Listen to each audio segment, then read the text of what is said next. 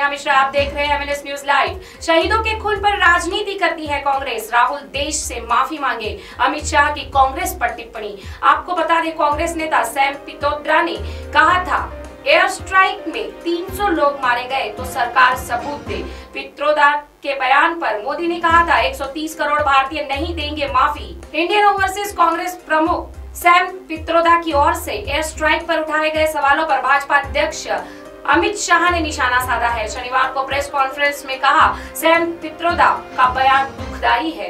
कांग्रेस शहीदों के खून पर राजनीति करती है। पित्रोदा के बयान पर उन्हें माफ़ी मांगनी चाहिए। कांग्रेस नेता के इस बयान से शहीदों का अपमान हुआ, सुरक्षा पर सवाल खड़ा हुआ और आतंकियों के मनोबल बढ़े हैं। शाह ने कहा, आप भारतीय वायुसेना की क्षमताओं पर संदेह करते हैं। क्या कांग्रेस अध्यक्ष इस पर जवाब देंगे? सर्जिकल स्ट्राइक के वक्त कांग्रेस अध्यक्ष ने कहा था, आप खून की दलाली करते हो। अब एयर स्ट्राइक पर सवाल उठाते, आखिर किसकी मदद करना चाहते हैं? जेएनयू में देश विरोधी नारेबाजी पर उनके साथ खड़े हो जाते हैं। कांग्रेस ने पित्रोदा के बयान से किनारा कर लिया, लेकिन उनके नेता लगातार विवादित बयान देते हैं। उनके खिलाफ कुछ नहीं होता।